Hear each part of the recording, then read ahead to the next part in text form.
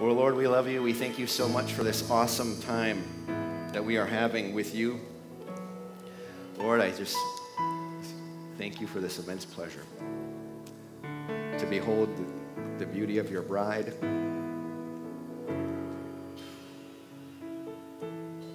Thank you, Lord. Thank you, Lord. Thank you, Lord. Mm. Whew, that's us. that's us. We are the bride. Yeah. yeah, it sounded more exciting in my head, but I am a bride. Ah, it comes out still a little bit. You guys get the picture, though. Okay? we are the body. That's better. I am the body. I like that. You know, Jesse the body. Anyway, there was a time, I'll tell you a story. When, when I first got called in a full time ministry, I was probably, no, I wouldn't say that. I didn't like the church that much. Would that be accurate statement? I didn't like the church that much. And then when I got more into ministry, I liked the church even less. Yeah, it's true. And then I started doing evangelism, and then it got even worse. I was like, you know, but actually, it's not that uncommon for evangelists not to like the church because they do all this work getting people into the kingdom, and they get to the church, and then they get screwed up. then they end up back out there, and they've got to, and, and instead of like, instead of like, the, the the seed of the word being planted in somebody's heart and this person growing into the mature person of Christ that they're supposed to be, it's like, I just inoculated you. Wow. You know, we just get enough, get enough of the word and enough of Jesus to make them say, I'm staying away from that forever. You know, I'm not saying that people get born, I'm not saying that they don't get, actually get born again, but when they come into the church, sometimes there's like this, ah. Yeah. It's not a good handoff with the baton. And so I'm down in I'm down in Tijuana and I'm just doing some street evangelism and it was super duper bad, super bad. The the places that we were at and just the you see the how people treat each other and just not the, you know just the things that you don't want to see is like where I was and um, I was just so grieved and I was like Lord, you know and, I, I'm I'm I'm praying about a lot of different things and and I'm just excited about Jesus. You know what I mean? I'm just super excited about Jesus. And I, I want to, I'm trying to say, Jesus, I love you. And, it, and I'm saying this out loud. I'm like, Jesus, I love your church. It's like, ah. let me try that one more time. Jesus, I love your church. Oh, I'll just say this one more time. Jesus, I love your church. And then I'm like, God, why are you making me say this? I don't even like your church. Okay? And as soon as I said that, it's like, that's the wrong thing to say when you're having a conversation with the Lord. As soon as I said that, it was like, oh, I felt like this big, like, you know, you know what I'm talking about? It's this big, ooh, like bad, like I'm backing up really fast inside. My spirit's just going, shh, like, and the Lord says, and it was just like light, just light just came down. He said, You love my church. because I was believing a lie, okay? He said, You love my church because you can't love the head and not love the body. Wow. I know. Amen. And I said, Wow, I love your church. That's how real it is for Jesus. Like, He's the head, we're the body. Like, we're one, okay? We're one. We're one. Like, He's, he's not playing around. He's like, we are one with Him and he loves us like he loves his own body, you know, because we are his own body, you know, in a, in a corporate sense and in an actual physical sense. Like, it's him, you know, he's in us. Is he, is he, is he in us? And, all right, I'm going to get some scriptures in here. These scriptures are going to, they're going to be really good because they're all really good. Amen was it second uh, 1 timothy 3.16 no 2 timothy 3.16 word of god is profitable for correction for reproof for doctrine yes. there's all that stuff it's, we're, we're, we're, we're, we, we love the word. Amen. praise the lord. Whew, man. I am super excited to be up here today. Oh even more than usual. What is Praise the Lord. Oh, okay. when you have some thin spots on your lawn, you know, maybe the dirt is shown through, it's a little dirty in places, like we have going on right now. One of the things you do is you aerate the lawn and you overseed. That's what the Lord told me He was doing here this morning. Wow. He was aerating and overseeding. The Spirit was aerating and the words overseeding, okay? Wow, there's going to be some, some of the spots that you've been a little thin, get ready, okay? Just get ready. There's going to be harvest time, okay? I'm telling you. Aerate, aeration and overseeding to the point where you're going to want to watch the replay because you're going to get to a point where you might not hear the next five or 10 or 15 minutes of the service because something clicked in your head. And in the process of that clicking, there's going to be some uprooting happening. Some lies are going to get pulled out by the roots all the way down, pulled out by the roots, and going to get replaced by the truth. Okay? So, do you know heaven is always on? It never shuts off. it's always on. The, the, heaven is always on. 24 7, seven days a week, heaven is on. The, the anointing of heaven in you can always be flowing. Amen. It always flowed in Jesus because he knew who he was. Praise the Lord. Okay. Uh, you know, the Lord said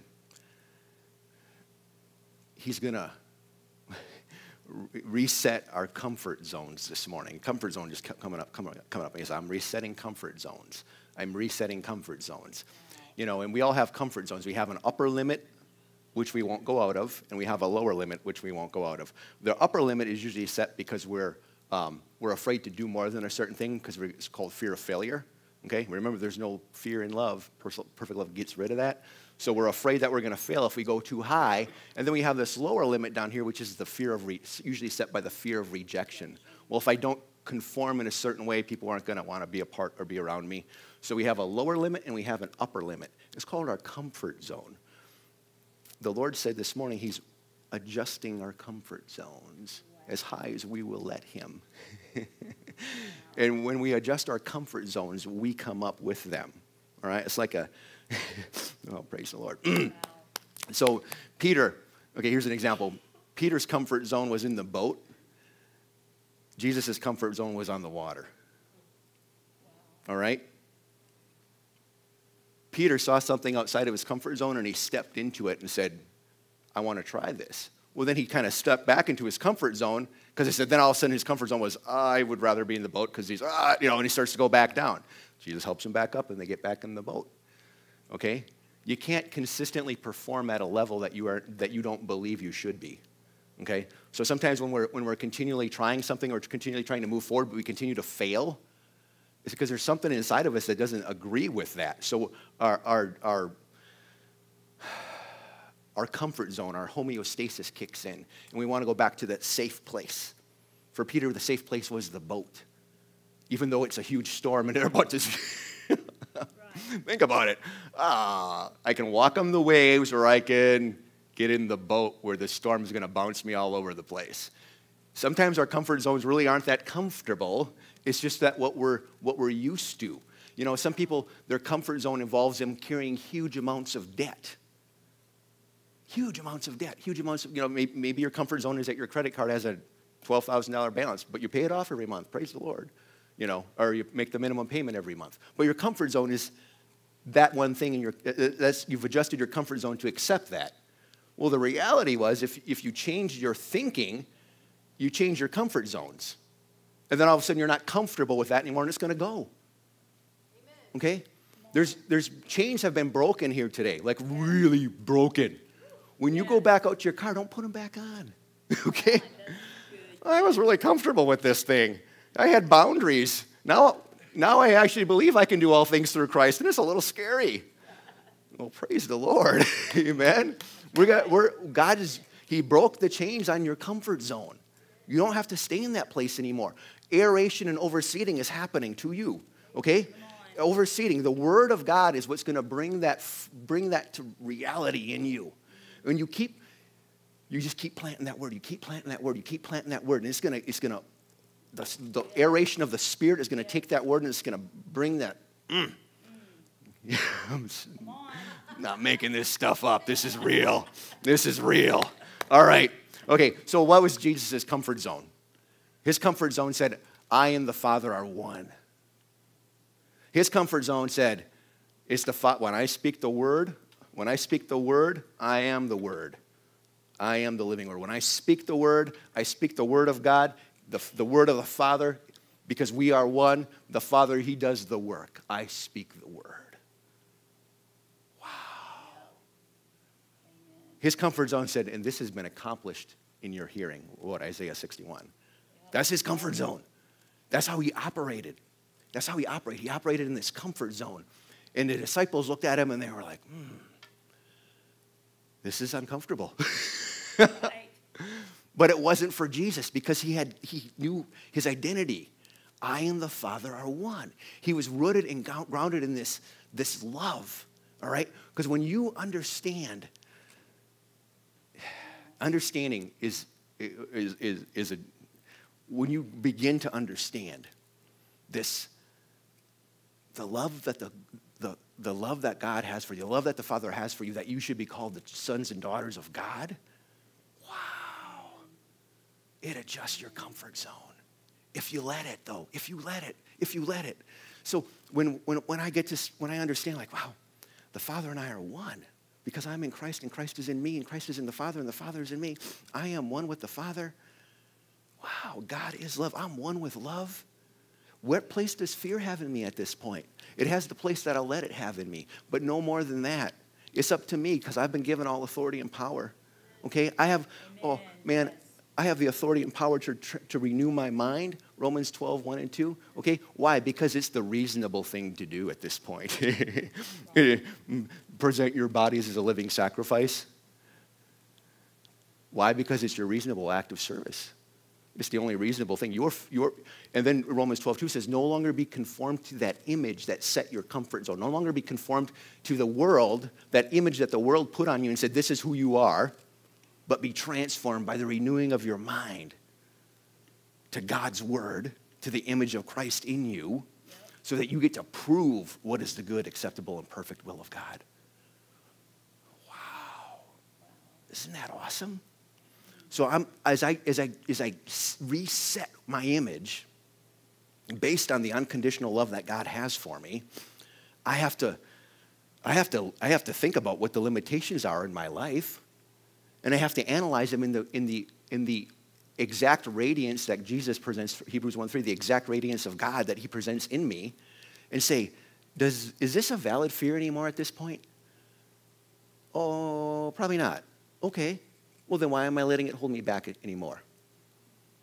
You know, and the, the fear of rejection and the fear of failure are the two biggest fears that hold most humans back in, in anything in life. And it's the same thing true for the church.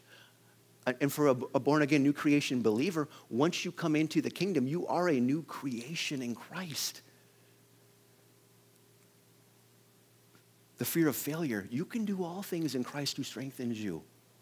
You can do all things in Christ. Amen. And if you screw up, go, boldly go before the throne of grace in your time of need. Yes. And God's there for you. Yes. The fear of rejection. Well, at this point, what can separate you from the love of God? Nothing. Why am I afraid anymore? Where did Jesus demonstrate fear? I'm scared. No, he didn't. He didn't.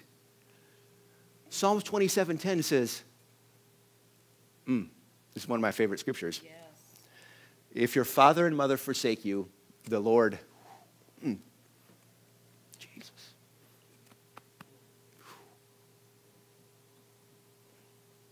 The Lord will take you. Okay? The Lord literally is your father. Okay? This is a reality. This is a reality for you. If your father, you know, and, it, and, it, and you know, if we talk about this in the context of your father and mother forsake you, you know, David wrote this, and uh, it seemed like his father and mother forsook him. oh, him? He, uh, the little one? we don't even count him. You want? Why would you want to see him, Prophet Samuel? Yeah, I mean, think about this. This is, this is David's reality. He's been forsaken by his father and mother. You know, and, and, that, and, and for, for those of us who've lost a, a parent or both parents, you know, not, not that your parents forsook you, but they're, they're gone. The, the Lord is literally your father. But as you can see in the case of David, you don't have to wait for your natural parents to die to, to walk into that reality. To, to walk, to step into that reality like, no, my God is my father. Amen. I am the father at one. His spirit resides in me through, through Jesus Christ, his son. And when his word comes out of my mouth, it's his word. Amen. It's his word, and he's going to do the work. And as I, as I renew my mind to the image that God has for me through his word, it transforms my thinking. I cannot consistently behave in a manner which I do not believe the things that happen to me, the, th- the situations I'm in, the person I am today is a result of what I have thought to this point. The amazing news is the amount of transformation we can experience in this world is unlimited through Jesus Christ. Amen. The amazing thing is that His Word is going to renew our minds and we are unlimited in participating in the divine nature according to the Word of God. Unlimited. You have unlimited potential. Unlimited potential. Unlimited. Jesus said, John 14, 12, greater works than me. His, his, when he sees you, he says, Wow, you have unlimited potential. What do you see when you see you? James chapter 1 says, if you don't look at, this, at the Word of God and see yourself in it, you're like a man who's forgotten what you look like. Wow. Whoa. That's how I got to see me. Man. Okay, I'm going to get to the message. Praise the Lord. Where is the message? In the Word. Praise the Lord. Oh, here we go. Romans 4, 4. Romans 4, NIV. I'm reading this out of 16. Therefore, the promise comes by faith so that it may be by grace and, and may be guaranteed to all of Abraham's offspring. That's you and me. Not only those who are of the law, but also those who have the faith of Abraham. Again, raise your hand if that's you. That's me. That's you. He is the father of us all. As it is written, I have made you the father of many nations. He is our Father in the sight of God. Thank you, Jesus. In whom he believed. The God who gives life to the dead and calls things into being that are not. Wow. wow. He calls things into being that are not. Romans 8, 29 and 31. For God foreknew, he also predestined he to be conformed to the image of his Son. That's you. You're predestined to become the, to conform to the image of Christ that he might be the firstborn among many brothers and sisters. And I have to say, Jesus has a nice looking family. All right? I'm just telling you that. Amen. And those he predestined, he also called and justified and glorified. Oh, that's you, called, justified, and glorified. What shall we say in response to these things? If God is for us, who can be against us? Wow. So Thank you, Jesus.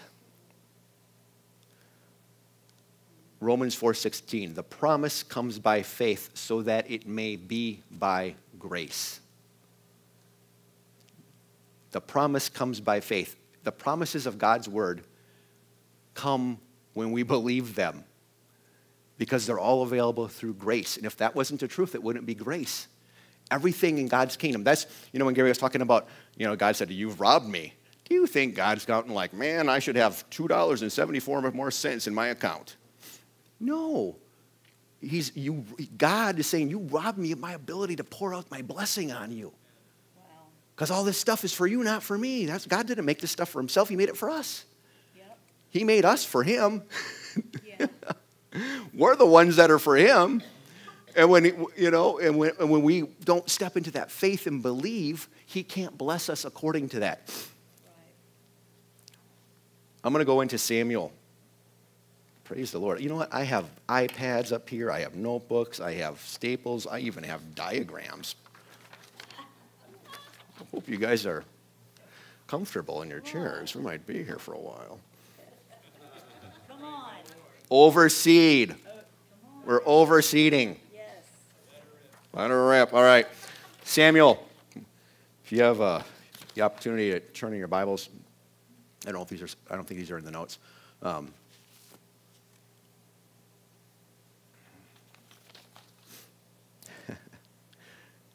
actually, no. I first we're gonna first we're gonna go to Job. Right, you got to Job chapter uh, chapter three verse twenty five. This is Jesus. People always say, well, what about Job? Not always, since I have heard that, what about Job? Remember in the last chapter of Job, Job repents for not knowing anything he was talking about and says, I've got this all wrong. But there's one thing that Job said that I believe was really right. And uh, John chapter, Job chapter 3, verse 25, he says, What I have always feared has happened to me. What I have, what I have dreaded has come true. I have no peace, no quiet, no rest, and only trouble comes. What did Job fear? He, he, he feared trouble. What did he anticipate? No peace, no, no rest, it, it, it, just trouble. That's all he thought about. Whatever you set your heart to and you, and you put your desire, desire is like not just, oh, I want that, but desire is like, I want that. And you, it's like you attach this, your spiritual energy to it, okay? Especially as a new creation the, you're going you're going to bring that manifestation into reality, according to God's word. Fear works the same way. You attach your spiritual entity, uh, you know, you, you, you as, as a creative being now, you're a new creation in Christ, as a creative being. Yeah. When you speak out the negative things, and you have a you have and you have a belief on that stuff especially when you believe it you know you're, you're speaking it out you're going to bring that manifestation into the course and we see this in the in the life of job he got what he thought about. Got, Job got what he feared. Job was well developed in fear. We get to be well developed in faith. And when we say, well, what about Job? We can look at Job and say, ah, oh, that's not what to do. Amen. that's not, because Job had a, Job had this attitude that, well, God was in charge. He's a good God. He's a good God. Right? Yeah, Job's wife, have you cursed God yet? Oh, no, I'll never curse God. I don't know why he's doing all this stuff to me, but I'll never curse him. That's the wrong attitude. Job's mouth was doing it to him. Job's beliefs were doing it to him. In the last chapter, Job repents. He says, Now, uh, what I heard wasn't true, but now that I see you clearly, Lord, I repent because I've been wrong. Okay? Job was well developed in fear. That is not for us. Amen? Right. We, don't, we, don't, we don't look at those scriptures and say, Ooh, how can I, how can I fit that paradigm? we say, "Ooh, how do I how do I avoid the same mistakes Job made?" Yes. Stop worrying. Yep. Right? Yep. Don't stop cast your cares upon him because he cares for you. Matthew 9 29. Um, Jesus said to the blind people, He said, May it be according to your faith. All right? This is a principle that we have to learn. And we're learning it and we're growing in it. Again, it has to be by faith so that it can be by grace. In Mark 11, 24, Jesus says, Whatsoever you desire, when you pray, believe that you received it and you'll have it. Now, in Samuel chapter 10, in Samuel chapter 10, we see David is being, I'm not sorry, I'm sorry, not David, but um, Saul. This is, okay, I'm just going to read this. Uh, so Samuel took off the flask of oil. Samuel chapter 10, verse 1. If you can find it, that would be awesome. Um, Samuel took out the flask of oil and poured it on Saul's head and kissed him, saying, Has not the Lord anointed you ruler over his inheritance? Wow. The Lord has anointed Saul ruler over his, his inheritance. Saul is being anointed king by Samuel. When you leave me today, you will meet two men near Rachel's tomb and it's going to be there. They will say to you, The donkeys you set out to look for have been found. And now your father is now your father is thinking about is has is thinking about them is now worried about you. He is asking, What shall I do about my son? Then you will go on from there, and you will reach a great tree of Tabor. Three men will going forth to worship God will meet you there. One will be carrying uh, some instruments, another will be doing this, and they, they will greet you. They will offer you two loaves of bread. You will accept them. After that, you will go here, and this is going to happen. And as you approach the town, you will meet a procession of prophets. When they get there, they're going to be playing instruments. You are going to start prophesying. The Spirit of the Lord will come powerfully upon you. And listen to this and you will prophesy with them, and you will be changed into a different person. Once these signs are fulfilled, do whatever your hand finds to do, for God is with you. What an awesome, that is so awesome. Yeah. That's almost as good as we have it now. Yeah. Not quite, almost. The anointing is on him. Yes. And he's got these, these signs are going to happen, and there's going to be confirmation and he's anointed. And the prophet Samuel, who's the big boss prophet, said, Do whatever your hand finds to do because the Lord is with you. You are unstoppable. You have been put in charge of the Lord's inheritance. You are king. You are anointed. So, what happens? Well, as we read on, um, he, he, goes, he goes out. Saul goes out. All these things happen to him in verse 9, Samuel chapter 10, verse 9, it says that so Saul turned to leave Samuel. God changed Saul's heart, and all these things were fulfilled that day. Wow. God changed Saul's heart. There was a supernatural thing that happened to Saul. The Spirit of the Lord is on Saul. Saul is anointed. Saul's commissioned. Saul has basically been told, You are unstoppable. And then God does an internal work on Saul, changes his heart. That's what the scripture says, changes his heart.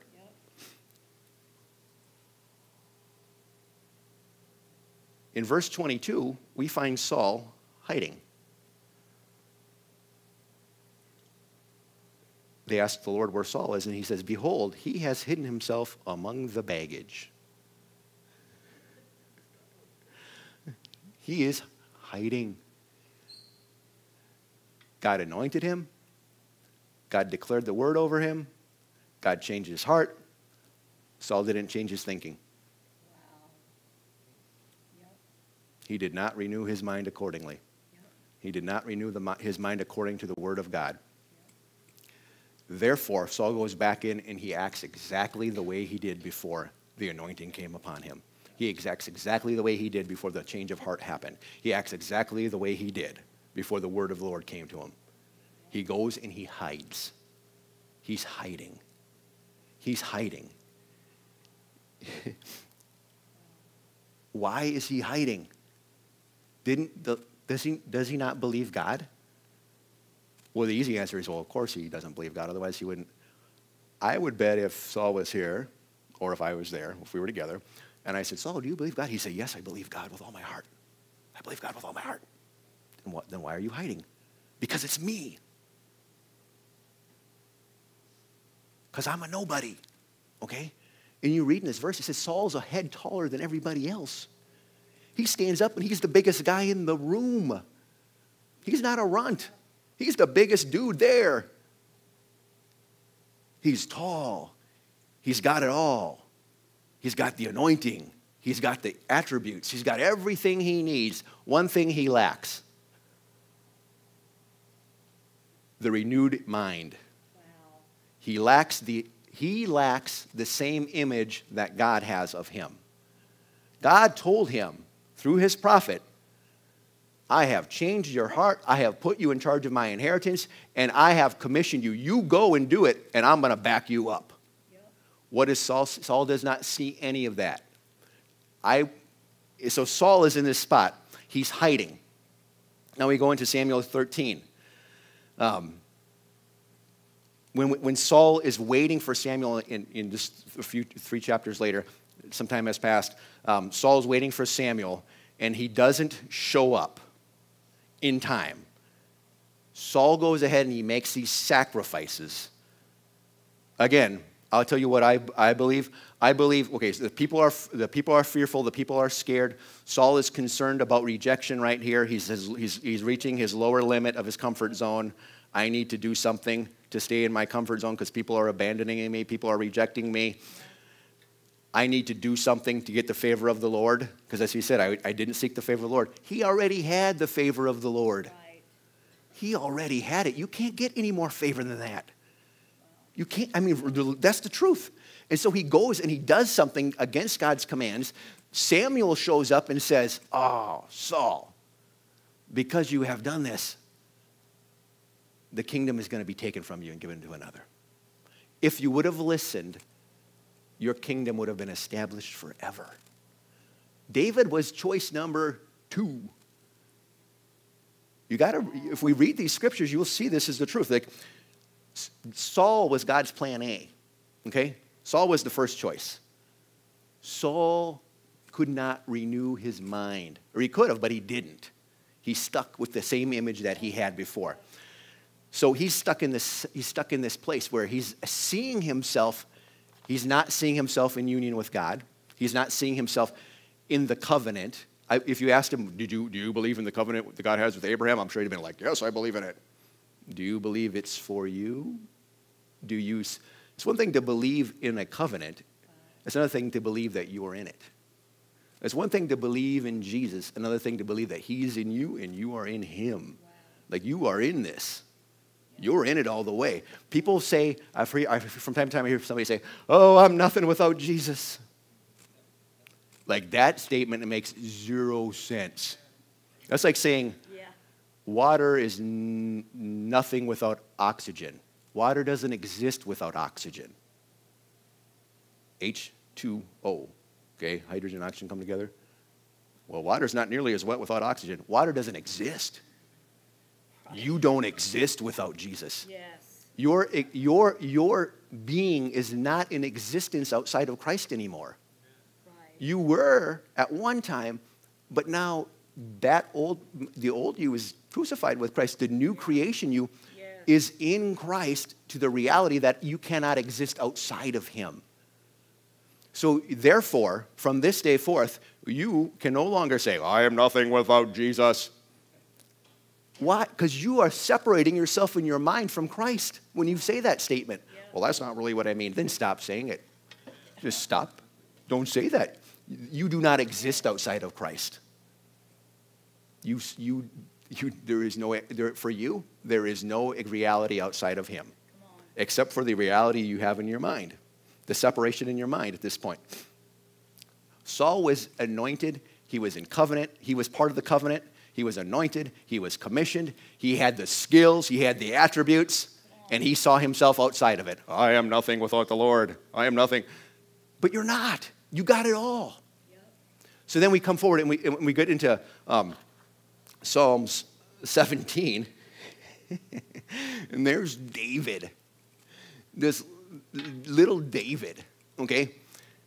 I believe David got anointed by Samuel in Psalm 16. He's now anointed king, but Saul's still the king. They have the same anointing. They both have the king anointing on them. David shows up, and Goliath is there.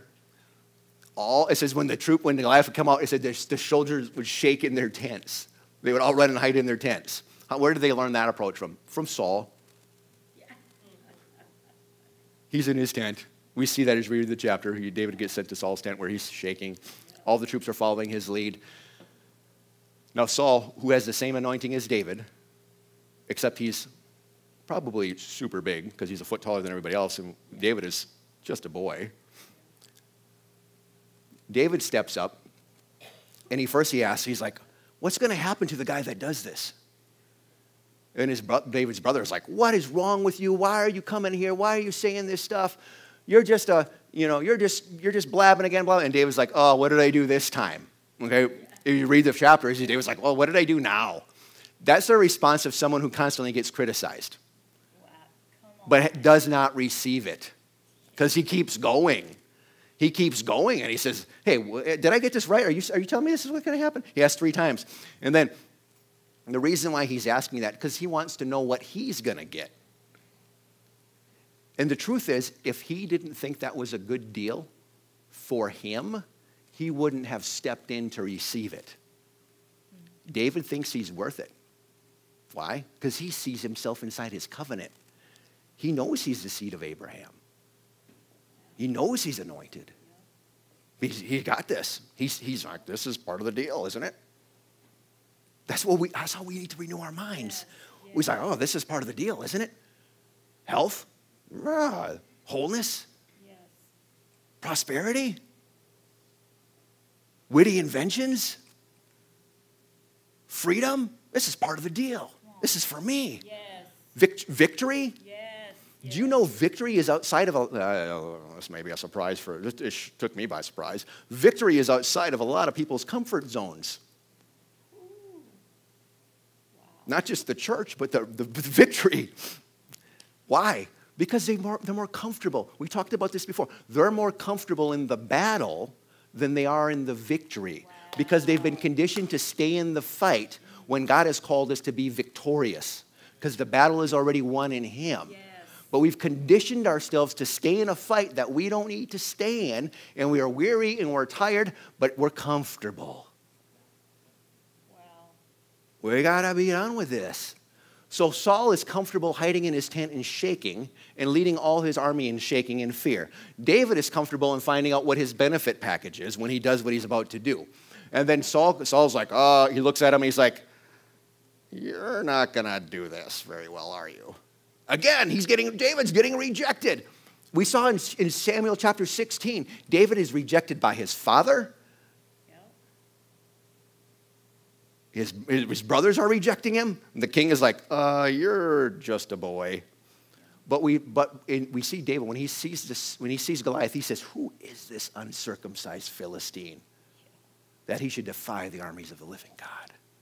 David is recognizing the covenant, he's recognizing the blessing. But more than that, he sees himself in it. He sees himself in it. This, this is for me. Yes. In Christ, we have been blessed with every heavenly blessing. Do you see yourself in the blessing? Do you see yourself in the new covenant? Yes. Do you see yourself in Christ? Because it's all for you. But if you don't see yourself in it, you're not going to be in it, even though you already are in it. Saul was already anointed. God had told him, Do what you need to do to get the job done, and I'm going to back you up. I have put you in charge of my inheritance. Now, who's in charge of his inheritance? That's us. Yep. Where are we right now in the battle? Are we in the tent, shaking in fear, praying for some little guy named David to show up and help us? Someone who's not as skilled, not as qualified, but believes in the anointing that we have Come on. already? Good. So David shows up and he's oozing with self confidence. Well, wasn't that a little bit presumptuous? Well, he was, he was presuming the Lord was going to keep his word. Yes. He was presuming that the Lord was going to keep his covenant. Yes. That's what he was presuming. So, yes, it was presumptuous. He presumed the Lord was a truth teller. He presumed that the word of God was powerful. He presumed that the covenant he was in mattered, and he saw himself in that covenant. So then he goes into this, he goes into this battle, and he knows, he, he, David knows it's not even fair. Do you know it's not even fair? It's not even fair. This covenant that we're in, we, it's not even fair. Like we've been blessed with every spiritual blessing in heavenly places. That means every blessing that's in heaven has already been released to us. Yes. Out of the good treasure, a man speaks and brings forth what has already been stored up in him. Yep. Man, every spiritual blessing that you have is already in your spirit. When we take the Word of God and we plant that seed in there, it, it's in our mind, it's in our soul. It renews our thinking to line up with what has already been planted by God. He wrote His Word in our heart. It's already been there, it's already there. And that connection happens. Bam! We, we plug in, we plug it in. Okay? Heaven never shuts off, heaven is always on. But are we connected to it? Are we plugged into it? Jesus was always plugged in. That's why somebody could touch him and be like, boom, I just got healed. And he's like, what just happened? I felt the anointing. Because he, he was always connected. Because he never doubted his identity. He was always connected. He was always flowing. Right. He was never like, ooh, wait a minute, wait a minute. What- When he said, I only do what the Father's doing, He didn't mean he, and I literally used to think this, so I used to think that Jesus would look up into heaven and see who the Father was healing before he healed anybody. Because Jesus only did what the Father was doing. So if the Father was not healing women with issues of blood that day, Jesus would have had to ask for that healing back. Oh, that's an unauthorized healing. No. Like seriously, that's a, uh, I've come a long way. Praise the Lord. I've come a long way. Thank you, Jesus. And I had a hard time trying to figure that verse out. I, trying to, I had a hard time trying to fit that verse into my belief system. But I just ended up having to change what I believe to line up with the Bible. So much better. So much better.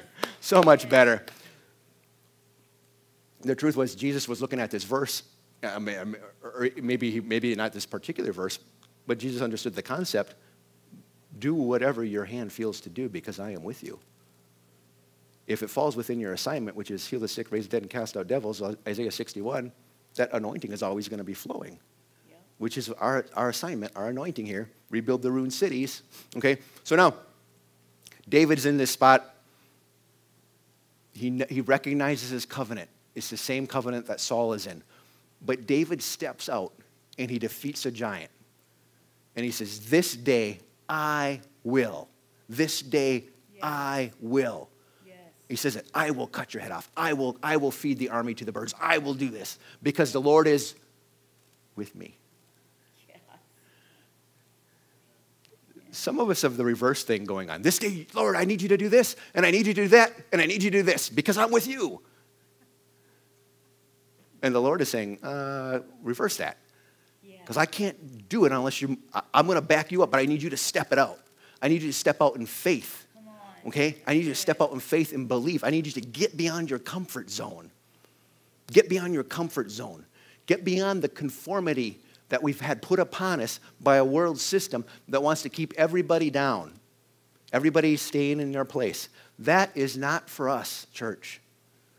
We have been anointed we have the anointing of Jesus, the same resurrection power that brought him out of that tomb. It resides in each one of us in this room.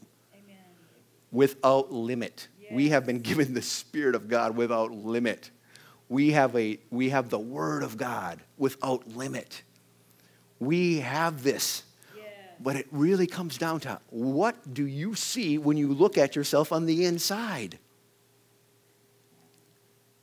The 10 spies, the 10 leaders saw themselves as grasshoppers. And so that's what they projected. Everybody sees us as grasshoppers. This is who we are. Because they didn't renew their minds to God's word. Joshua and Caleb, we, what did they say? God is well able. He said, We are well able. Why? Because God's word tells us we are. Right. We are well able. You are well able. Yes. This day, God is blessing you with favor, but He needs you to personalize it. we got to personalize this word. Oh, God loves everybody. He loves you. You I mean, and that's really what it comes down to. Yes. Like, do you really, man, when I think about how much God loves me, yes. it's just mind blowing. It's just unbelievable. Like, the love the Father has for us is over if you let it, it will overwhelm you. It'll, it'll overwhelm your consciousness. It'll overwhelm your subconsciousness. Amen. And and I we got to do some aeration right now, okay? Yeah. It's just we ready to come on up and oh, yeah. yeah. We're gonna we're gonna do some aeration in the spirit here, okay? Because there's been a lot of word. We, we had a lot of word release. There's a lot of word, a lot of word. And as we as we, we're just going to go into, we got some time, a little bit time here that mm-hmm. we can, mm-hmm. I want you guys to not rush out of here because we're, we're doing this a little bit earlier than normal. But I want you to receive the word of God. Philippians 4 13 says, You can do all things through Christ who strengthens you. You can do all things through Christ who strengthens you. You can do all things. And it's personalized. It says, I can do it. I can do all things. It means that you can do it. If that verse is true, and it is, it's true for you as, we, as we're meditating on this word, and the Spirit of God is moving in this place, because He's moving in a mighty way. He's really, He really is. He's just moving in a real powerful way. Let the Holy Spirit shed some light into the areas that maybe you've got, you've got the anointing pinned up a little bit. You've got the anointing of God blocking you a little bit. Is there a, Is there a stronghold? Because strongholds are really what set the limits on our, on our thinking. And a stronghold is a it's an automated thought pattern. It's a conditioned response. So when you hear something beyond what your stronghold allows you, you automatically reject it or you automatically receive it. And it's almost involuntary because it's a conditioned response. It's part of who you've been conformed to be. The Lord is tearing down strongholds today. He is tearing down strongholds and He's replacing them with the truth. Because there's some blessings that, the, that have been bottled up by strongholds that have set your comfort zone. And the Lord, said, He's way beyond that. You, you're all water walkers. Amen. You're all dead raisers. You're all healers. You're all blessed. You're all prospered. You're all, if, if you have received Christ as your Lord and Savior, you are all in Him and He is all in you. What great love the Father has bestowed upon us that we should be called the children of God, His children. David knew, despite whoever rejected him, who his father was. It was God. It wasn't Jesse, it was God. Jesse was his biological father, and I'm sure he loved and respected him, but God was his father. David's the guy who wrote Psalm chapter 8. Oh, what is man that you should think of him? The Son of Man that you should think about how, think about us. Yet you have made him a little bit lower than yourself, God. That's what David thought of himself, a man after God's own heart. Because he believed God and he believed the covenant he was in. And David understood the authority that he had based on who he was in his covenant. Now, David longed for the days that we are in. He prophesied, he wrote about us like, oh, there's gonna a time is coming when the Spirit of God is gonna be inside of you. And it's gonna be for everybody who believes. That's this time. The Spirit of God is on the inside of us now. We are in this eternal covenant through Jesus. This covenant is not between you and the Father. This covenant is between Jesus, the man, the Son, and the Father. You enter in through Christ, and you enter into the covenant, a covenant that's contained in the Godhead. That's where you are right now. Praise the Lord. So, Jesus, we love you. We thank you right now. We thank you for setting us free. We thank you for renewing our minds by your word and by your spirit.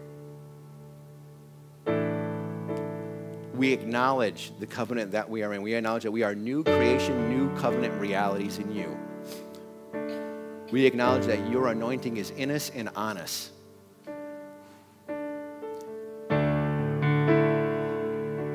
Right now I just ask that your Holy Spirit just bring truth and freedom to our thinking, to, to our minds, restoration and healing to our bodies. Thank you, Lord. Thank you, Lord.